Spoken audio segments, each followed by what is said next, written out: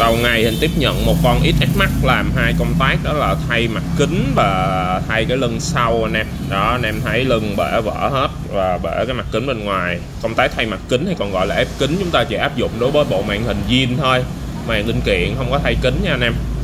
Thì đây là một bộ màn hình zin, em gái này xài từ đầu đến giờ.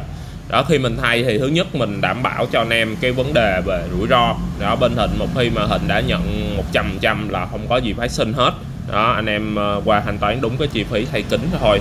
Đó.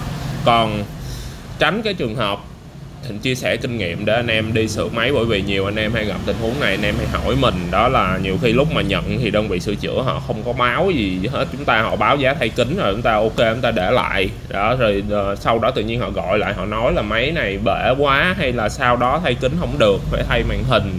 Đó thì anh em hỏi thì cái nguyên tắc nó như thế nào? Thì hình nói nguyên tắc là nếu có rủi ro gì chúng ta phải báo trước. Khách đồng ý thì chúng ta mới nhận làm. Còn chúng ta đã nhận làm rồi thì đồng nghĩa chúng ta phải bao 100% có hư hỏng gì phải xin quá trình chúng ta thay thế màn hình nó hư rồi không có thay kính được chúng ta phải đền cho khách.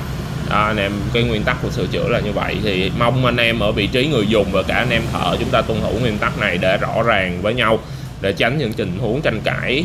Anh em nha. Đó đảm bảo quyền lợi của khách và cũng là giữ cái uy tín của anh em trong quá trình làm thợ. Rồi, ok Thỉnh thay thì thỉnh thay đúng mặt kính chất lượng nhất ha. Nắp lưng cũng vậy và mình làm với độ hoàn thiện cao.